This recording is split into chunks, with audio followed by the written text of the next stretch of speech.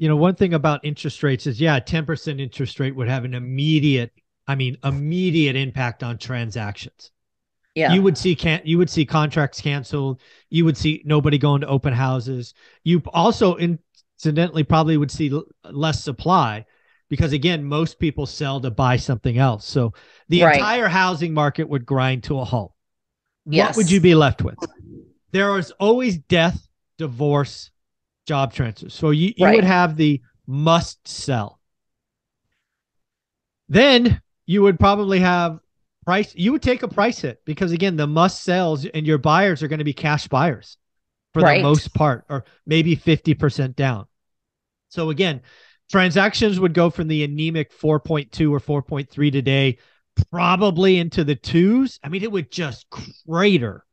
Right, because it's already coming to a grinding halt, and we're at what close to seven percent interest rate. So think about what that does if you go up to ten. It really slows things down. Oh. So, yeah, you know, I think part of what's kept us from having a crash in prices has been the fact that we have 70 80% of homeowners in really low 30 year fixed debt so they're just not going to move but to Mhm. your point those that have to they're the ones that become so motivated because they have to that the only way that they can sell their house is to really drop their price in a lot of markets. And so, Yeah. you know, I think if you're not in an area that has a lot of great jobs um, and and more, you know, housing uh, demand than there is supply, um, then your values will start to drop. But the other thing is, I think if if rates are that high, it tells you that inflation is still really high and the Fed is not stopping. And so, what that also means is you're probably going to head into a very deep recession